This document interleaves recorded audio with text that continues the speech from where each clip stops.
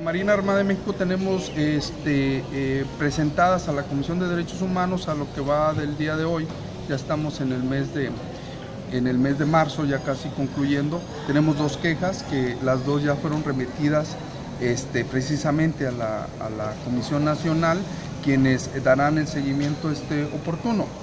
Desafortunadamente no podemos nosotros prejuzgar sobre la eh, existencia o no de la violación, pero sí de la denuncia para que se investigue y se puedan esclarecer este, los hechos. Eh, eh, insisto, al ser instancias federales, es que este, solo tiene competencia para investigar y en un momento dado emitir este, acciones de recomendación o medidas cautelares la, la misma Comisión Nacional. Claro que sí, Sabino Hermilo Flores Arias, presidente de la Comisión de Derechos Humanos del Estado de Colima.